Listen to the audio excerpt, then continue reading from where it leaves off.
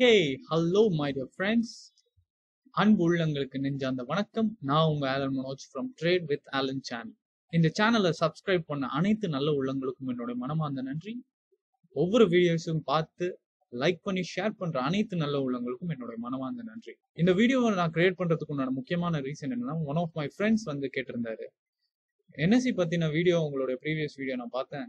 எனக்கு ஓரளவுக்கு தான் புரிஞ்சுது. அதை பத்தின இன்னும் டீட்டெயிலான இன்ஃபர்மேஷனை சொல்ல முடியுமா? அதாவது என்எஸ்சி பத்தி மட்டும் இல்ல ஸ்டாக் மார்க்கெட்டை பத்தின ஒரு டீடைல்டு இன்ஃபர்மேஷன் கொடுக்க முடியுமா அப்படின்னு சொல்லி கேட்டிருந்தாரு.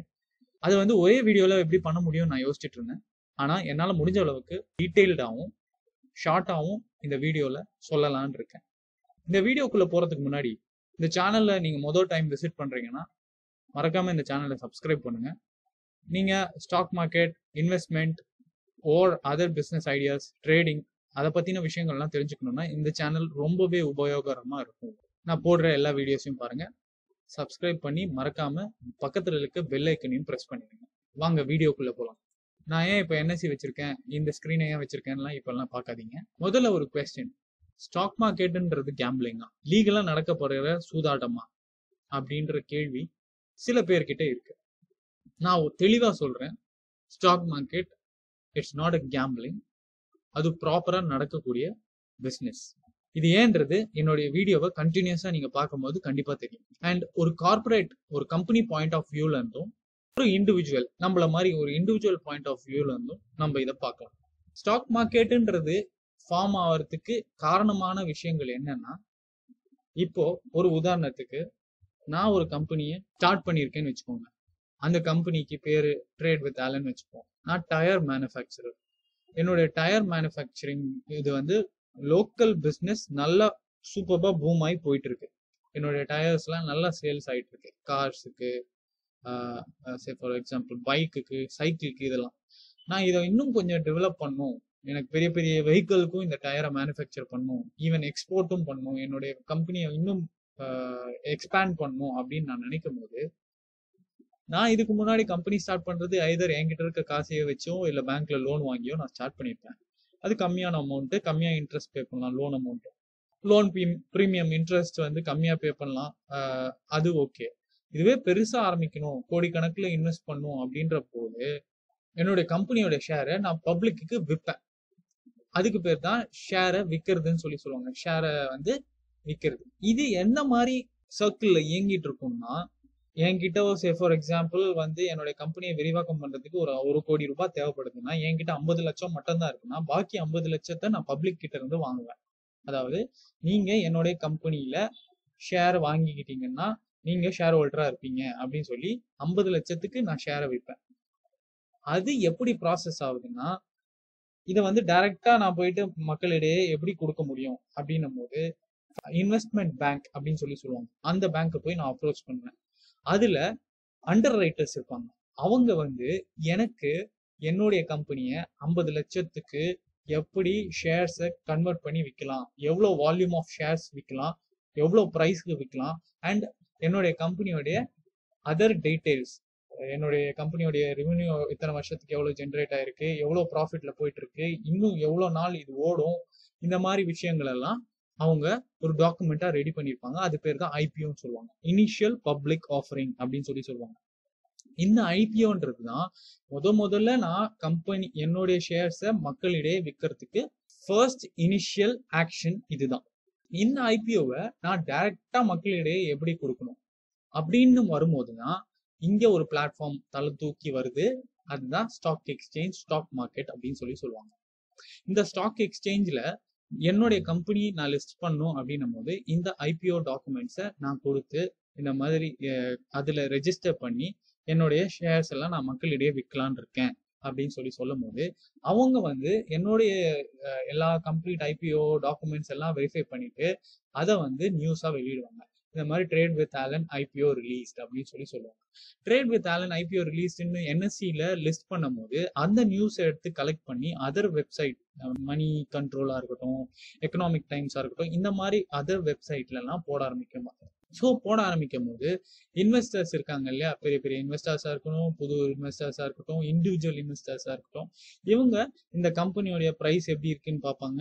இந்த கம்பெனியோடைய ஐபிஓ டாக்குமெண்ட்ல நான் எல்லா டீட்டெயிலும் கொடுத்து வச்சிருப்பேன் இல்லையா? என்னுடைய ஃபண்டமெண்டல் அனாலிசிஸ் எல்லாமே கொடுத்து வச்சிருப்பேன் இல்லையா? அந்த ஐபிஓ ஃபுல்லாக படிச்சு பார்த்துட்டு ஃபுல்லாக க்ரோ க்ரோ த்ரூ பண்ணிட்டு இன்னும் எத்தனை வருஷத்துக்கு எவ்வளோ தூரம் இந்த கம்பெனி வளரும் அப்படின்னு சொல்லி பார்த்துட்டு அதில் இன்வெஸ்ட் பண்ணுவாங்க. ஸோ ஐம்பது லட்சம் ரூபாய் தேவை. இந்த ஷேரை விற்க மூலமா எனக்கு வந்து சேர்ந்துருக்கு.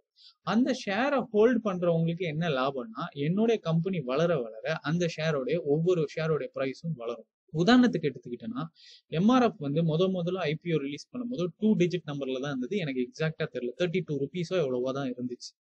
அதோடைய ப்ரைஸ் ஐபிஓவா ரிலீஸ் பண்ணும்போது அந்த ரேட்ல இருந்த டைம்ல ஒரு பேங்க் எம்ப்ளாயி வந்து அந்த ஸ்டாக்கை வந்து அனலைஸ் பண்ணி பார்த்துட்டு கம்பெனி ஓரளவுக்கு வளரும் எம்ஆர்எஃப் டயர்ஸ் ஓரளவுக்கு வளரும் டயர்ஸ்லாம் நிறைய கார்ஸ் நிறைய எல்லாத்துக்கும் தேவைப்படுது அப்படின்னு சொல்லி வாங்கி வச்சாராம். அது வாங்கி வச்ச உடனே அந்த கம்பெனி அவர் எதிர்பார்த்ததை விட அளவுக்கு அதிகமா வளர்ந்து இப்போ அதோடைய ஒரு ஷேரோடைய பிரைஸ் வந்து எழுபத்தி ஏழாயிரத்தி சம்திங்ல இருக்கு. ஒரு ஷேரோடைய பிரைஸ் அவர் ஆயிரக்கணக்கான ஷேர் அப்பவே வாங்கி வச்சிருந்தாரு. ரொம்ப காலத்துக்கு முன்னாடி. டூ தௌசண்ட் டூலையோ இல்ல நைன்டீன் நைன்டி சிக்ஸ் அந்த அந்த இடப்பட்ட காலத்துல எனக்கு எக்ஸாக்டா இயர் மறந்துச்சு ஓகே இந்த மாதிரி ஒரு உதாரணம் இருக்கு. இப்படிதான் இன்வெஸ்ட்மெண்ட் நடக்குது. ஒரு ஷேரோடைய பிரைஸ் வந்து எப்படி நிர்ணயிக்கப்படுதுன்னா அந்த கம்பெனியோடைய டேர்ன் ஓவரை வச்சு அந்த கம்பெனியோடைய நிலைப்பாடை வச்சு தான் ஸோ ஷேரோடைய ப்ரைஸ் வந்து ஏற்ற இறக்கம் காண்றதுக்கு உண்டான வாய்ப்புகள் ஜாஸ்தியாக அதனால தான் இருக்குது ஒரு கம்பெனியோடைய ஷேர் ப்ரைஸ் டிக்ரீஸ் ஆகுறதும் இன்க்ரீஸ் ஆகுறதும் பல்வேறு அடிப்படையில் நடக்குது. அது வந்து ஒன்று ஃபினான்ஷியல் ரிசல்ட் மூலமா அதாவது ஒவ்வொரு கம்பெனியோடைய quarterly financial result annual financial result மூலமா இதுக்கு முன்னாடி எவ்வளோ சேல்ஸ் ஆச்சு இப்போ எவ்வளோ சேல்ஸ் ஆகுது லாஸ்ல போயிருக்கா கம்பெனி ப்ராஃபிட்ல போயிருக்கான்னு அந்த ஃபினான்ஷியல் ரிசல்ட்ல சொல்லும் போது அந்த கம்பெனியோடைய ஷேர் ப்ரைஸ் இன்க்ரீஸ் ஆகும் இல்லாட்டினா டிக்ரீஸ் ஆகும். அதே மாதிரி ஒரு கம்பெனியோடைய நியூஸ் அது அது அடிப்படையிலும் ஒரு ஷேரோடைய வேல்யூ இன்க்ரீஸ் ஆகும் டிக்ரீஸ் ஆகும் இப்போ ரீசெண்டாக நீங்கள் உதாரணத்துக்கு எடுத்துக்கிட்டோம்னா எடுத்துக்கிட்டீங்கன்னா ஃபேஸ்புக் ஃபேஸ்புக்கோடைய ஷேர் ப்ரைஸ் வந்து ரொம்ப கீழே போயிட்டு இருக்கிறதுக்கு உண்டான காரணம் என்னன்னா ஃபேஸ்புக்கோடைய நியூஸ் வந்து பேட் நியூஸாக வந்தது தான் அதோடைய ரிசல்ட்டும் பேடா வந்ததுனால தான் இந்த ஸ்டாக் எக்ஸ்சேஞ்சை ரெண்டு வகையா பிரிச்சு வச்சிருக்காங்க. NSC BSC national stock exchange Bombay stock exchange இந்த ஸ்டாக் எக்ஸ்சேஞ்சில் நம்ம நேஷனல் ஸ்டாக் எக்ஸ்சேஞ்சில் பார்த்தோன்னா அதுக்கு ஒரு இண்டெக்ஸ் இருக்கு. அதுக்கு பேர் நிஃப்டி ஃபிஃப்டின்னு சொல்லுவாங்க. அண்ட் பாம்பே ஸ்டாக் எக்ஸ்சேஞ்சுக்கு ஒரு இண்டெக்ஸ் இருக்கு. அது சென்செக்ஸ் தேர்ட்டின்னு சொல்லுவாங்க. நிஃப்டி சென்செக்ஸ் என்ன நியூஸ் வருது பார்த்தீங்களா? அதுதான். பங்குச்சந்தை ஏற்ற இறக்கம் அப்படின்னு சொல்லி நியூஸ் வருது. இந்த நிஃப்டி ஃபிஃப்டியில் அதாவது ஸ்டாக் எக்ஸ்சேஞ்சை பொறுத்தளவில் பல்வேறு கம்பெனிஸ் லிஸ்ட் ஆயிருக்கும். ஆயிரக்கணக்கான கம்பெனி ஸ்டாக் எக்ஸ்சேஞ்சில் லிஸ்ட் ஆயிருக்கும். இப்போ ஐபிஓ ரிலீஸ் பண்ணி ரிலீஸ் பண்ணி ரிலீஸ் பண்ணி இந்த மாதிரி புது புது கம்பெனிஸாக வந்து பல்வேறு கம்பெனிஸ் இப்போ லிஸ்ட் ஆயிருக்கும். டிசிஎஸும் புதுசாக என்டர் ஆகும்போது ஐபிஓ ரிலீஸ் பண்ணி தான் என்டர் ஆயிருப்பாங்க. எம்ஆர்எஃப்பும் அந்த மாதிரி தான் என்டர் ஆகி ரிலீஸ் பண்ணியிருக்காங்க. அப்படி லிஸ்ட் பண்ணி லிஸ்ட் பண்ணி நிறைய கம்பெனிஸ் லிஸ்ட் ஆகிருக்கும் போது எல்லா கம்பெனிஸையுமே அனலைஸ் பண்ணி மானிட்டர் பண்ணி நம்ம ஸ்டேட்டஸ் போட முடியாது. சே ஃபார் எக்ஸாம்பிள் இப்போ நம்ம ஒரு நம்ம கம்பெனியில் ஒர்க் பண்ணுறோம் நம்மளுக்கு ஒரு செட் ஆஃப் டாக்குமெண்ட்ஸ் கொடுத்து அதெல்லாம் ரிவ்யூ பண்ண சொல்லி சொல்லியிருக்காங்க. அந்த செட் ஆஃப் டாக்குமெண்ட்ஸ் நம்மளுடைய வேலையை எப்படி அவங்க ஜட்ஜ் பண்ணுவாங்க? நம்ம பண்ண எல்லா ஒர்க்கையும் உட்காந்து அவங்களால பார்த்துட்டு இருக்கிறதுக்கு டைம் இருக்காது. ஸோ டாப் அக்கௌண்ட்ஸ் நம்ம கிட்ட கொடுத்துருக்க அக்கௌண்ட்ஸ்ல நாம எப்படி ரிவ்யூ பண்ணியிருக்கோம்? நாம எப்படி அதோடைய ஸ்டேட்டஸ் என்ன? நம்ம என்ன மாதிரி வேலை பார்த்துருக்கோம்? ஸ்டாப் அக்கௌண்ட்ஸ் எடுத்து ரிவ்யூ பண்ணி பார்த்துட்டு தான் நம்மளுக்கு வந்து ஸ்பாட் செக்ன்ற மாதிரிலாம் ரிசல்ட் கொடுத்து நம்மள ரேட்டிங் பண்ணுவாங்க. ஒரு கம்பெனில வேலை பார்க்கணும். அதே உதாரணம் அதே அதே மாதிரி தான் இந்த எல்லா கம்பெனிஸ்லயும் எது பெஸ்டா இருக்குதுன்னு சொல்லி ஒரு டாப் ஃபிஃப்டி கம்பெனிஸ் எடுத்து வச்சுட்டு அந்த ஃபிஃப்டி கம்பெனிஸோடைய ஒரு ஆவரேஜ் ப்ரைசிங் தான் இந்த மேல பாக்குறீங்க பாத்தீங்களா eleven thousand four hundred and twenty nine point five அந்த ஓவரால் ஃபிஃப்டி கம்பெனிஸோடைய ஆவரேஜ் தான் இந்த அமௌண்ட் இப்போதைய நிலவரத்துல. இதுக்கு முன்னாடி நைன் தௌசண்ட்ல இருந்தது எயிட் தௌசண்ட்ல இருந்தது முன்னாடி முன்னாடி போனா டூ தௌசண்ட்ல இருந்து ஆரம்பிச்சது. டூ தௌசண்ட் அப்படின்ற அமௌண்ட்ல இருந்து ஆரம்பிச்சது. இப்போ இந்த ஸ்டேட்ல இருக்கு. அதே மாதிரி தான் பிஎஸ்சியும் பிஎஸ்சியில தேர்ட்டி கம்பெனிஸ் இருக்கும். பிஎஸ்சியில பொதுவாக யாரும் ட்ரேட் பண்ண மாட்டாங்க. ஏன்னா அதுல தேர்ட்டி கம்பெனிஸ் தான் இருக்கு. இதுல ஃபிஃப்டி கம்பெனிஸ் இருக்கு. அந்த தேர்ட்டியும் இந்த ஃபிஃப்டிக்குள்ளேயே அடங்கிடும். இதுல இன்வெஸ்டர்ஸ் அண்ட் ட்ரேடர்ஸ் எப்படி உள்ள என்டர் ஆவாங்க? அப்படின்ற போது தான் புரோக்கரேஜ் பிளாட்ஃபார்ம்னு ஒன்று வருது.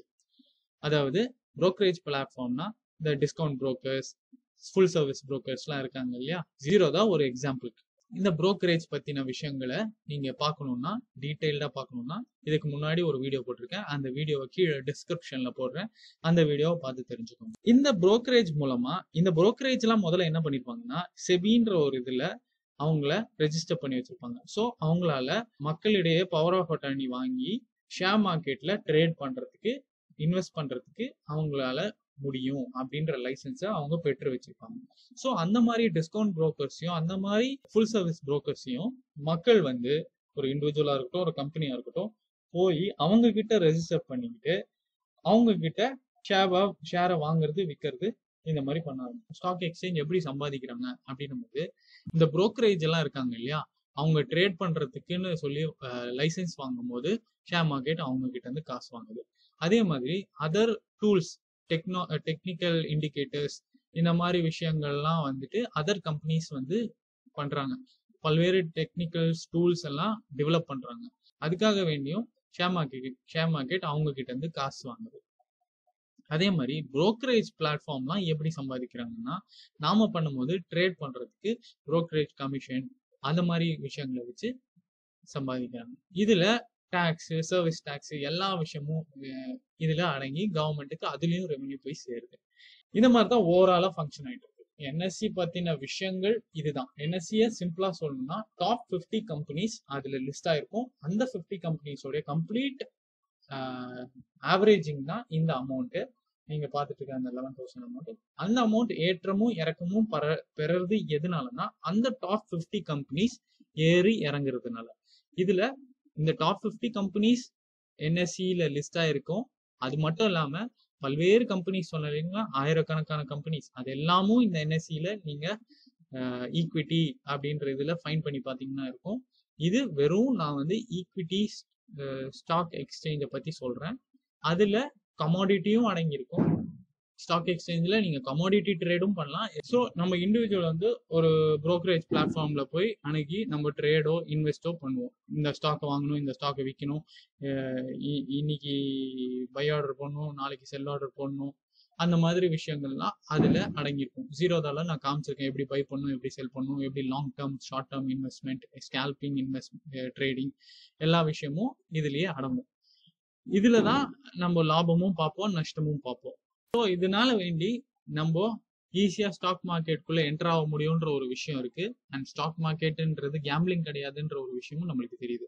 ஒரு ஸ்டாக் ப்ரைஸ் ஏறுறது இறங்குறது கம்ப்ளீட்லி நியூஸ் பேஸ்டாகவும் அந்த கம்பெனி எப்படி இயங்குதுன்றதுனாலயும் அந்த கம்பெனி எப்படி ஹைலைட் பண்ணி காட்டுறாங்கன்றதுனாலயும் அந்த கம்பெனியோடைய லாஸ் அண்ட் ப்ராஃபிட் எப்படி இருக்குன்றதுனாலையும் தான் ஏற்ற இறக்கங்கள் இருக்கு. ஸோ ஒரு கம்பெனியே நம்ம ப்ராப்பரான கம்பெனியை தேர்ந்தெடுத்து ப்ராப்பரா நியூஸ் வர்றதை பார்த்துட்டு நம்ம இன்வெஸ்ட் பண்ணோம்னா நம்மளுக்கு கண்டிப்பா லாபம் கிடைக்கிறதுக்குண்டான வாய்ப்புகள் நிறைய இருக்கு.